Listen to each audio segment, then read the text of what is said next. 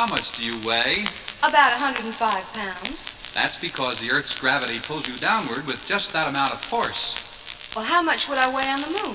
The moon is much smaller than the Earth, so you would weigh about 18 pounds. Hmm, I think I'll stay where I am. Well, gravity will help you do just exactly that.